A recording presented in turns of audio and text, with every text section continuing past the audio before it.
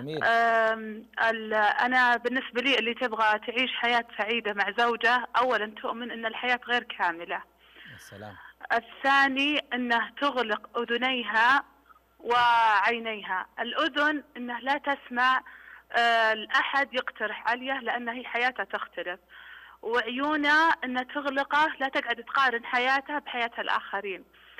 آه، الثالث آه، أنه يا شيخ اسأل مجيب ولا تسأل طبيب. أنا عن نفسي ما تغيرت حياتي بعد توفيق الله وزانت لي ست سنوات متزوجة إلا يوم الله وفقن وصرت دائما يا شيخ أني أدعي أن الله يسخرنا لبعضنا. يعني بعض النساء تقول الله لا يجعلهم أكبر همنا. الله الرسول صلى الله عليه وسلم قال الدنيا كلها الله لا يجعل أكبر همنا. لكن عند الزوج أقول الله يسخرنا لبعضنا لأن بعض الأحيان يا شيخ وأنت أعرف بهذا المواضيع الزوجية أنه يجي فترة الرجل يلتفت إلى المرأة وترى المرأة خلاص منتهي الموضوع عنده. لكن إذا قالت آه، الله يسخرنا لبعضنا إذا التفت له أترى هي ما زالت تحتاج له أو أنه آه، مبسوط بوجوده. وكذلك الرجل يكون مبسوط أنه رجع وأنا بالنسبة لي ليش بعض النساء يا شيخ يغير حياتنا بموضوع الحب وما الحب؟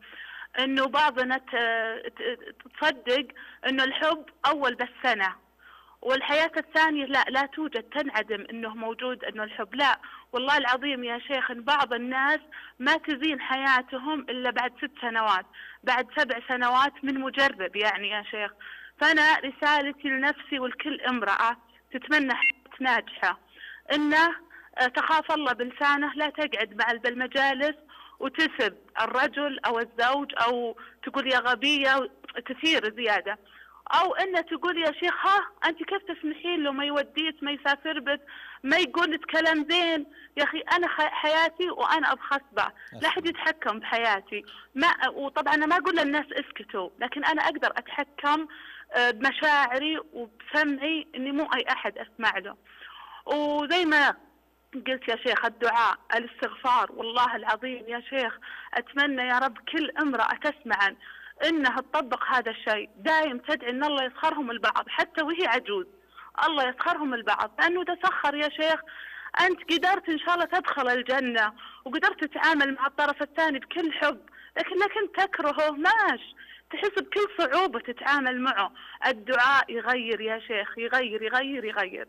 فباختصار إنه المرأة تدعي ربه ليل ونهار ترى الحياة السعيدة مو بس أول سنة لا. دام أنت تدعين فأنت سعيدة.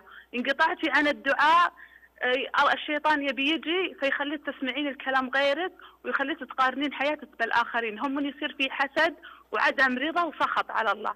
فالله يهدينا وجزاك الله خير يا شيخ. والله يجعل بموازين حسنات.